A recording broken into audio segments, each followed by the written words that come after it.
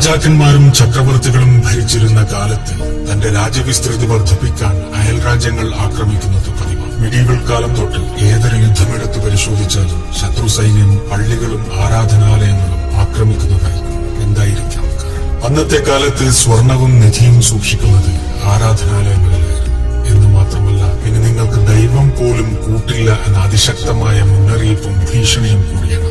അയൽ രാജ്യങ്ങൾ ആക്രമിക്കുന്ന ഹിന്ദു രാജാക്കന്മാർ കൊള്ളയടിക്കുന്നതും തകർക്കുന്നതും ഹിന്ദു അമ്പലങ്ങളും ക്ഷേത്രങ്ങളുമാണെന്ന തിരിച്ചറിവാണ് മതത്തിന് യുദ്ധമുന്നേറ്റത്തിൽ ഒരു പങ്കുമില്ലെന്ന് ആയിരത്തി എഴുന്നൂറ്റി തൊണ്ണൂറ്റൊന്നിൽ രഘുനാഥ് റാവ് ഭട്ട്വർദ്ധന്റെ നേതൃത്വത്തിലുള്ള മറാഠികൾ ശൃംഗേരി ശ്രീ ശാരദാംബ കോവിൽ ആക്രമിക്കുകയും അവിടെയുണ്ടായിരുന്ന വൈദികരെ നിഷ്കരുണം കൊന്നുകളയുകയും ചെയ്തു. ഇതിലെ വിരോധാഭാസം എന്തെന്നാൽ മറാഠികൾ ആരാധിച്ചു പോന്നിരുന്നത് ലോഡ് ശിവയെയായിരുന്നു.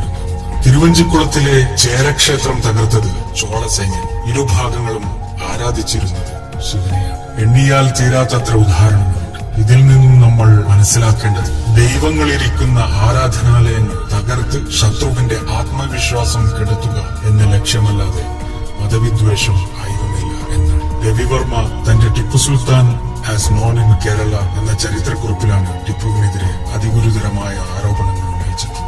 ചരിത്രകാരന്മാരും പിന്നീട് വായിച്ചു പോന്നതും കണ്ണടച്ച് വിശ്വസിച്ചതും ഇത്തരം അവ്യക്തമായ ചരിത്ര പുസ്തകങ്ങളുടെ താളുകൾ പിന്തുടർന്നുകൊണ്ടാണ് എന്നതാണ് ഖേദകരം.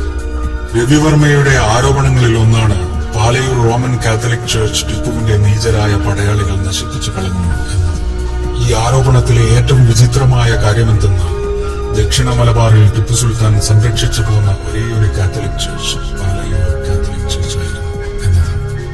ആയിരത്തി എണ്ണൂറ്റി അറുപത്തി ആറിലെ ഇനാം രജിസ്റ്ററിൽ രേഖപ്പെടുത്തിയ കാര്യം. മറ്റൊരാരോപണം തൃപ്രയാർ ശ്രീരാമക്ഷേത്രം തകർത്തതുമായി ബന്ധപ്പെട്ടാണ് ടിപ്പുവും പടയാളികളും ക്ഷേത്രം കയ്യേറിയെന്നും തകർത്തുവെന്നുമാണ് പ്രചാരം. എന്നാൽ സത്യം ഇതിൽ നിന്നൊക്കെ വളരെ വിദൂരതയിലാണെന്ന് അറിയുമ്പോഴാണ് എന്തിനാണ് ഈ നുണപ്രചാരമെന്ന് ആശ്ചര്യപ്പെട്ടു സ്നേഹ ബഹുമാന സൂചകമായി എന്നുമുള്ള ടിപ്പുവിന്റെ വെടിയൊച്ച കേട്ടാണ് തൃപ്രയാർ ക്ഷേത്രത്തിന്റെ നടയടക്കുന്നത് സുൽട്ടനേറ്റ് ഫയർ വർക്സ് എന്ന് ചരിത്രകാരന്മാർ പലയിടങ്ങളിലും ഇതിനെക്കുറിച്ച് രേഖപ്പെടുത്തിയിട്ടുണ്ട്. അതിനൊരു കാരണം കൂടിയുണ്ട് പ്രമുഖനായ ചരിത്രകാരന്മാരിൽ ഒരാളായ വേലായുധൻ പണിക്കശ്ശേരിയുടെ തെളിവുകളുടെ അടിസ്ഥാനത്തിലുള്ള ചരിത്രക്കുറിപ്പിൽ തൃപ്രയാർ രാമക്ഷേത്രവും അതിനു ചുറ്റുമുള്ള നൂറ്റി ഇരുപത്തി മൂന്ന് പോയിന്റ് പൂജ്യം നാല് ഏക്കർ ഭൂമി ആയിരത്തി എഴുന്നൂറ്റി എഴുപത്തി ആറിൽ ഹിന്ദുക്കൾക്ക് നൽകിയത് ടിപ്പു സുൽത്താനാണെന്ന് കാണാം. സ്ത്രീകൾക്ക് മാറുമറക്കാനുള്ള നിയമം കൊണ്ടുവരണമെന്നും ഇല്ലെങ്കിൽ അവരെയൊക്കെ ഇസ്ലാം മതത്തിലേക്ക് പരിവർത്തനം ചെയ്ത് മാറുമറപ്പിക്കുമെന്നും നാട്ടുരാജാക്കന്മാരെ ഭീഷണിപ്പെടുത്തിയ ടിപ്പു സുൽത്താന്റെ കത്തുകളാണ് ഇന്ന് നിർബന്ധിത മതപരിവർത്തനത്തിന്റെ ആഹ്വാനമായി പൊക്കിപ്പിടിച്ചു നടക്കുന്നതെന്ന്